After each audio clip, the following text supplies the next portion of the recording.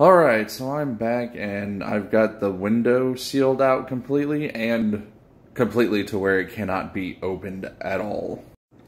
But seriously, when the people who renovated this place to sell it, they did not do a good job. They just completely 100% covered it up with the trimming and nothing else. So look how big this gap is. That was huge and that was leaking so much hot air and cool air during the winter and summer. Down here at the bottom,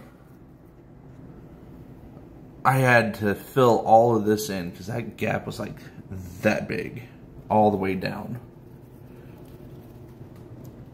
And then I sealed up the window itself so it will never be opened, which is fine. I don't want it to be open because this is going to be covered by a blackout curtain, like tacked onto the wall.